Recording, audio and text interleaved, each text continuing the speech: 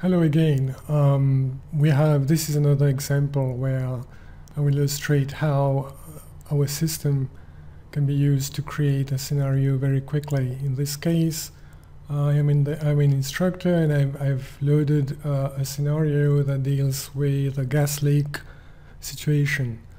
And uh, we are trying to, uh, you know, teach our awareness level, um, our basic level students how um, you know how to respond in this situation. So the goal here is really to get the students to be engaged in the environment. So a quick thing to remember here, every object that we put on this map of the scenario, for every object there's a corresponding um, 3D object appearing in the 3D world a world that they will be able to visit and that will be their virtual field after looking after listening to the theory of the class.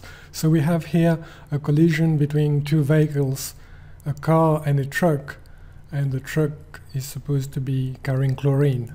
But the students don't know this yet. They will have to go in the field and and and try to uh, to look at the various symbols and signage on the truck in order to get an, an understanding of, for example, you know, the NFPA um, symbols, right? So, so, so part of of the, the the goals of this class is to teach about the the NFPA 704 symbols and uh, and uh, to explain, um, you know, what kind of PPEs to wear for various conditions.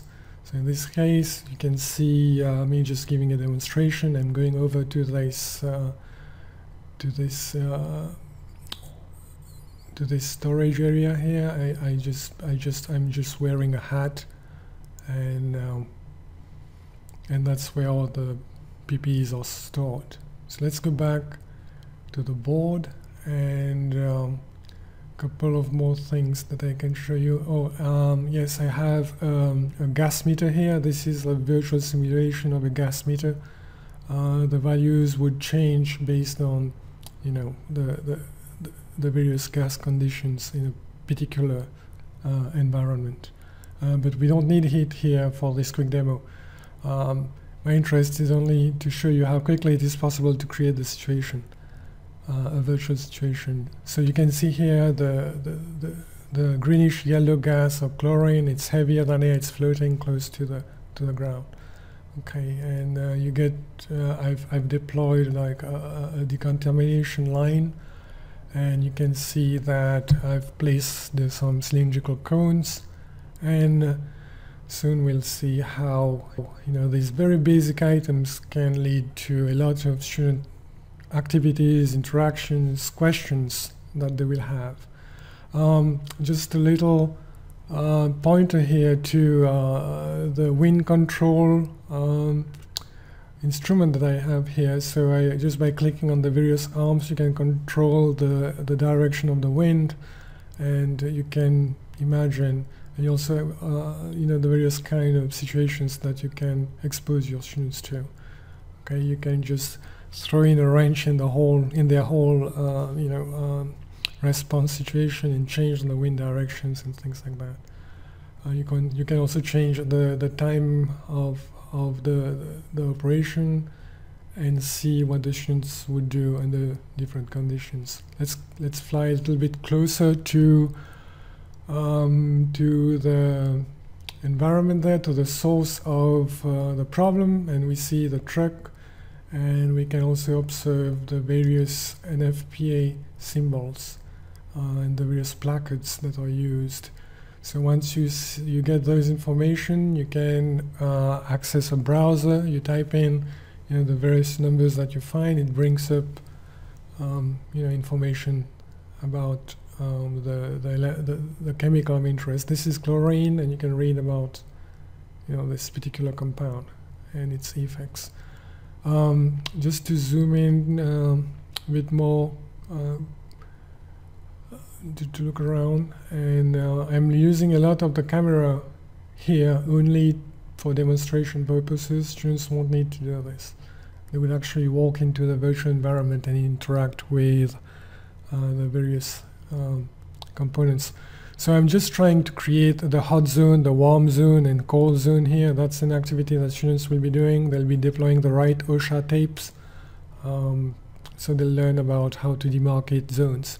So I'm using a red tape here, um, just connecting these various cylindrical um, cones.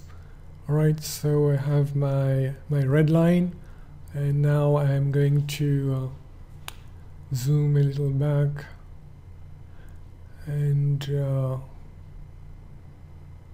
and try to uh, establish my uh, my yellow line which will be um, you know the edge of the warm zone. So zooming back and looking for for an appropriate cone. As I'm saying I'm using a lot of the camera control here but the students will need to do this. But you can get a sense of of the decontamination area established uh, you try to cover all the, the main points and uh, as the students will be going through them and interacting through them, they'll be learning uh, about the various con concepts that are very, very important. So you can see, for example, you know the trays that are laid out on the side there for collecting web uh, um, for collecting equipment once they are used, um, and and after they need to be decontaminated. All these um, PPE cleaning equipment are in you know they are functional. You can open the tap and the showers come out. Here I'm, I'm interacting with a crowd and I'm going to try to process them through this decontamination line. Um, so you know you have the the conveyor belt type of arrangement here.